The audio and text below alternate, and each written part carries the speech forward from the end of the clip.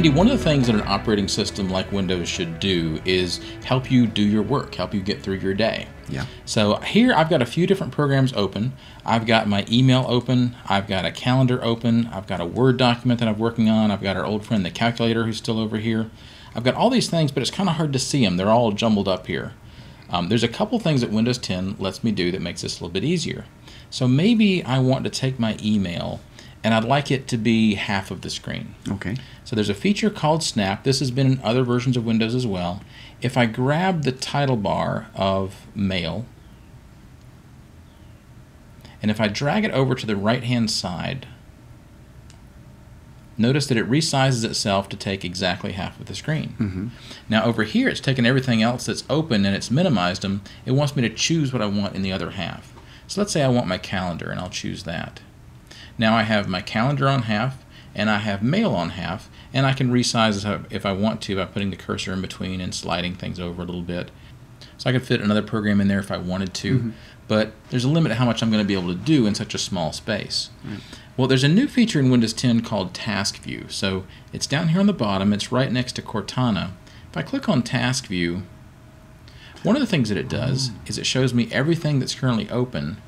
And down here at the bottom, I have two desktops. So maybe I want to put this Word document on the other desktop. Maybe that didn't work well at all. Ah, there it is.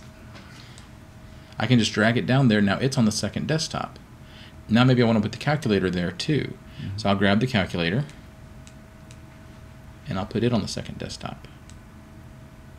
Now I can choose which desktop I want to work on. So if I'm on desktop one, there's my email and my calendar. Mm-hmm.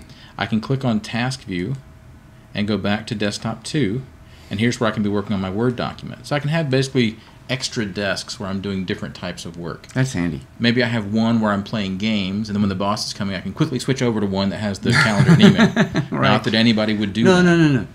If you don't want to use the mouse and click on Task View to go back and forth between them, what you can do is Control Windows key left or Control Windows key right.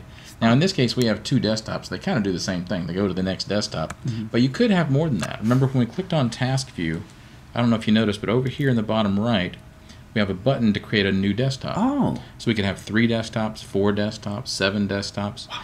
Might get a little out of hand. yeah, but I like that.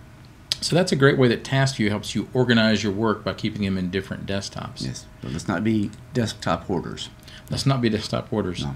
Now that's called Task View, and it's not to be confused with Task Manager, which is what Ah. lets you see all your open programs in case you need to close one. That has been updated for Windows 10. If I press Control Alt Delete, I get my lock screen, and I can choose the Task Manager here.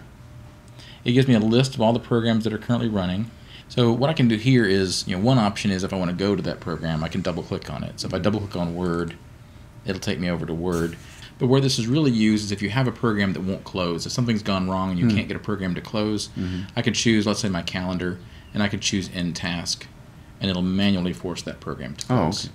So that's Task View and Task Manager. It's important to know your views from your manager and to keep your manager from seeing all your views. So that's probably true.